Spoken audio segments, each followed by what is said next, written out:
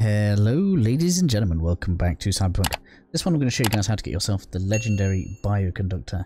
This drastically uh, reduces the cooldown of your cyberware uh, implants by 30%, which is pretty good. Requires 18 body for those that want to know. Ripperdocs just here. So we are, I think it's pretty much the only one that's outside of the city. So kind of in the far east. You'll come out here during the during the story mission anyway. Um, it's pretty pretty local fast travel point here as well. Just come on in here, circulate your system. And we got the blood pump. What did it say bioconductor?